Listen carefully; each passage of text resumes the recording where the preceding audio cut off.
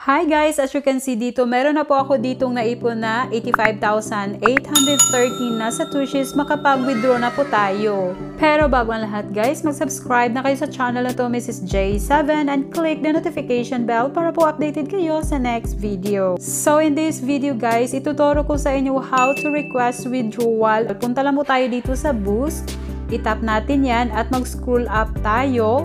So, dito sa makikita natin dito ng available rewards at meron din ditong withdraw to wallet. Dito po tayo mag-request ng withdrawal. Mamaya isi-show ko sa inyo. So, as you can see dito, updated sa uh, 2nd of April. Ngayon po ito. So, withdrawable rewards, makikita natin dito yung ating satoshis na available na naipon natin. Nakikita natin dito yung the next distribution date na April 4. So, meron dito naka-note na withdraw request must be submitted 24 hours before the distribution date. So, ibig sabihin po guys ay before 24 hours the distribution date, need na po natin tong i-request yung ating satoshis na naipon. So, for example, kasi po next distribution ay April 4, mag-request withdrawal tayo ay April 3. Pwede na po tayo makapag-request withdrawal. At pwede din naman tayo ngayon makapag-request withdrawal. Ipapakita ko sa inyo paano pa tayo mag-request withdrawal, punta lang po tayo sa withdraw to wallet.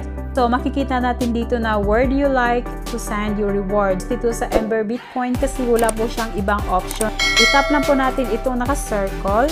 Tapos, meron dito ng pop-up up. Then, pagkatapos doon na itong send Bitcoin to your Ember Bitcoin wallet. So, i-continue na natin yan. O, makikita natin dito yung withdraw BTC. Meron ditong, ito po yung satoshis na i-withdraw ko, 85,000. 814.6140 na Satoshi. So, distribution date, April 4. Ang destination niya, guys, ay Ember Bitcoin Wallet. Then, itap lang po natin itong withdraw. So, meron na dito nakalagay, your withdrawal request has been successfully processed. Itap na po natin yung okay. Meron na ditong kikita natin na pending withdraw ordered. Uh, 2nd of April, ayan po yung ating BTC and 0.00085881. Guys, pagpunta tayo dito, tap natin yan at balik tayo dito. Tap natin to. So, makikita natin dito sa ating balance. Sa ngayon ay wala pa po siya.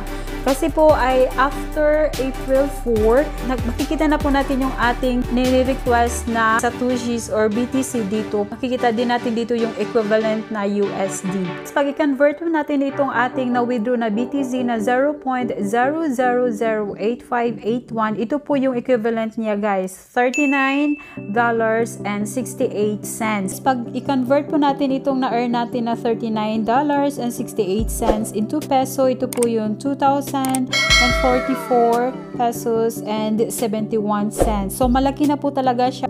Free lang po ito, wala tayong binabayaran.